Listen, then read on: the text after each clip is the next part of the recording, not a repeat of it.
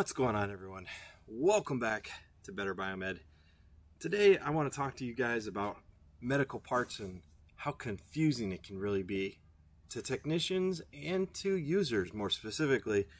But I have the perfect example and this morning I'm trying to find batteries for some ventilators and the problem is is that there's so many sources for batteries and the prices are all over the place and some of those prices I think they're smoking crack. I think some of these people are just a little bit crazy. And uh, other ones, they're more realistic, to be honest, because lithium ion batteries, like the ones found in the V60, they're not that special. A lot of people think that things like power tool batteries are expensive because it costs like $80 for a pack, and oh my god, it's, it's insane. However, if you think about how much more durable and how hard those batteries are run on power tools, they're actually just as safe, if not more durable, than medical batteries. But it still doesn't explain why medical batteries are so incredibly expensive. So let's go ahead and let's take a look and see what I'm talking about. I've got some examples pulled up here. Am I going crazy? What do you guys think? Let's do this. All right, so one of the first ones that I was checking on was over here. This is for a V200. You know, that's actually pretty accepted. These individual cells right here, they are very expensive. They're like 12 to $16 per battery. And there's a whole bunch of them in here. And it's a 24 volt, 8 amp hour. I think these are 12 volt batteries or 6 volts. So they're in a parallel series configuration, probably, depend on the voltage of the battery cells. I don't have that much of a problem with that battery, although it still seems a little ridiculous. let's let's switch over to some of the other ones. Okay, so here is a $595 V60 battery here. It, it appears to be in stock and it doesn't say if it's OEM or not. First problem is it should say that it is OEM, right? It should. There's, there needs to be a clear definition to whether or not it's an OEM part or it's an aftermarket part. I do think that that is a huge, huge problem in our community. So here's the thing. If they're selling a non-genuine OEM part, I think that it needs to be clearly labeled. FDA needs to get on that. This is this is one of those things that I actually kind of side with the OEMs on is that people could be misled to thinking they're getting an equivalent part when in fact they might not be. However, with batteries, lithium batteries, there's not so many companies actually making those in the world, just to let you guys know, and it's probably an equivalent part. So, first gripe is that they're not clearly labeling parts whether or not they're OEM or not. Uh, the other complaint that I have if you take a look right here, it does give a part number. It doesn't give the voltage and the amp hour of this part. If you are selling batteries, you need to have the voltage and the amp hour of the part. That is an equivalent between components. So if I'm buying something over here, I see that this item, yeah, they have a certain quantity in stock. That's awesome. Again, right there, you got 14.4 volts, 17 amp hours. 17 amp hours? Really? Guys, good on them for putting a voltage in amp hour. But really? It almost looks like it says 11 amp hours right there. You see that? That does not look like it says 17. It looks like 11. The reason I'm so shocked at 17 amp hours is because finding that amount of energy density in the same form factor is going to be really difficult. Yeah, they're pretty stuck on it, 17 amp hours. I dig that. However, uh, it does not say that it's an OEM or non-OEM battery. It says Philips Respironics, which makes me assume it's OEM. Look down there in the image, you can clearly see in the corner right here, made in China. I don't know if that's where the original Philips batteries are made or not. However, that leads me to think that this is not an OEM battery. That's just my assumption. And if it's made in China, that would also give explanation to why they say 17 amp hours. 17 amp hours, I just don't see how they can almost double the energy density. Here is actually a pretty good listing. Although, look at the prices, guys. We started off here, we're at 595 Now we're at $187. Now we're at $929. And look, this is the actual OEM battery capacity, 11 amp hours. And it says by Philips Healthcare. So it says new OEM original outright. Part Source is actually doing this correct. Good on them. I, I like that. I like that they have their prices pretty well defined. It is an extremely expensive battery. I don't understand that. Philips, bad on you. And part source, I mean, you're obviously going to sell it with margin whatnot, but geez, $1,000 for a battery. When the Chinese can make the same battery and profit at $125 an hour, doesn't really make sense to me. Here we have on eBay of all places, you can see that they say genuine part for Philips Respironics. You can see that it is a part that's labeled by Philips. It's assembled in Mexico. You can clearly see that right here.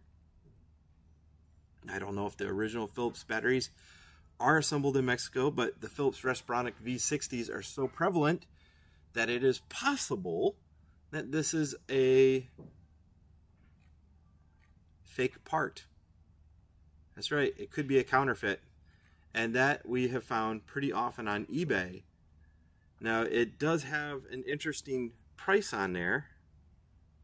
I don't know. Um, I'm I'm kind of curious. Again, it doesn't say the voltage and or the amp hour, but here you can see that it does have the original correct ratings. I don't know. The cabling looks okay. The clip looks original. I would assume that this is not a counterfeit part. However, I could be wrong. So that's the eBay listing. That one appears to be a very attractive price. Now take a look at this.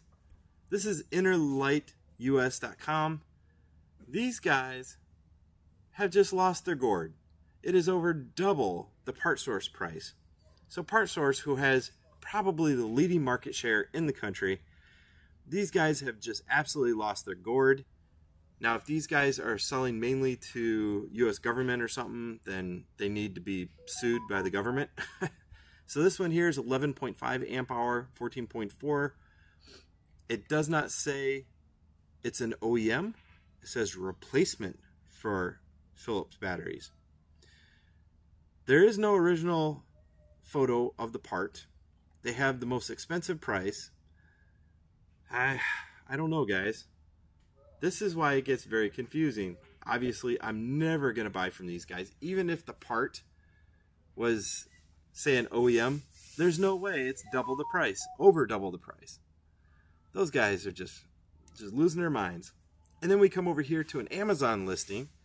Interesting enough, this is probably more accurate considering the form factor and the probably a realistic production cost of these batteries.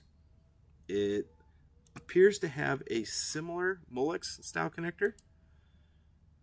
This is a different material than the OEM. You've seen the OEM one um, up here. It's a white style connector. And over here, you can see it's a white plastic connector. And you can see that it's actually pretty hefty. You see on the retaining clip right there? Right here. It looks like it's pretty hefty. This one here looks like a well, it's obviously a uh, reproduction. The wires look like pretty similar gauge, but this is like the old style Molex. Um, it's a different color material. You can see it's labeled 14.4 volts, uh, 11 amp hours, lithium ion. It looks like a good battery pack. I mean, I'd be really curious to uh, grab one of these and open it up. Clearly made in China. You can tell by Shenzhen down here, I don't know. We'd have to weigh the battery to find out, you know, because that's a pretty good condition of uh, lithium ions. You can weigh them. And obviously, the heavier battery has more energy density than others. But if I were to weigh this battery pack here And this one right here, I bet you they're similar. See that? They're very similar. Look at the wire gauge on this one though. Take a look at the wire gauge. You see a couple of those wires, which are just probably signal wires anyway. Look at how small they are. And the only large conductors on there, it appears to be one red conductor and one black conductor. The other ones are half the gauge. They do that as a cost cutting. On the OEM, which is not a really good view, I don't know if this is OEM or not. It's on eBay. This one here, it appears that they're all close to the same diameter on the part source.